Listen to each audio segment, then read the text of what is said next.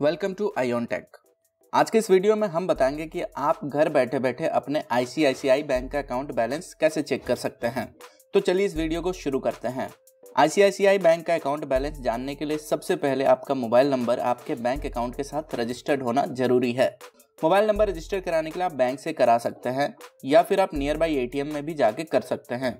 अगर आपका mobile number bank के साथ रजिस्टर्ड है तो आईसीआईसीआई बैंक का अकाउंट बैलेंस जानने के लिए एक नंबर डायल करना होगा। वो नंबर है nine five nine four six one two six one two. इस नंबर को डायल करना है, इसका कोई चार्ज नहीं कटेगा।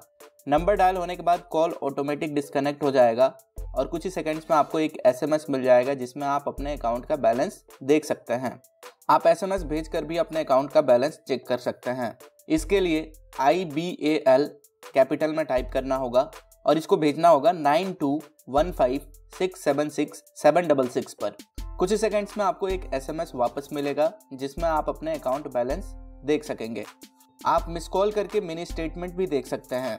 अगर आप अपने आईसीआईसीआई बैंक अकाउंट का मिनी स्टेटमेंट चेक करना चाहते हैं तो इसके लिए nine five nine four six one three six one three dial करना होगा। डायल करने के बाद कॉल ऑटोमेटिक डिस्कनेक्ट हो जाएगा और कुछ ही सेकंड्स में आपको एक एसएमएस मिलेगा जिसमें आप अपना मिनी स्टेटमेंट देख सकेंगे। अगर आप एसएमएस भेजकर अपने अकाउंट का मिनी स्टेटमेंट चेक करना चाहते हैं तो इसके लिए I T R A N capital में टाइप करना होगा और इसको भेजना होगा nine two one five six seven six seven double six या फिर five six seven six seven double six पर।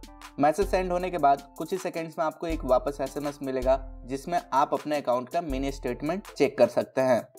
तो देखा आपने कितना आसान है, घर बैठे बैठे अपने अकाउंट का बैलेंस चेक करना। आई होप कि यह जानकारी आपको अच्छी लगी होगी। इस वीडियो को लाइक कीजिए शेयर कीजिए, और हमारे चैनल को सब्सक्राइब कीजिए।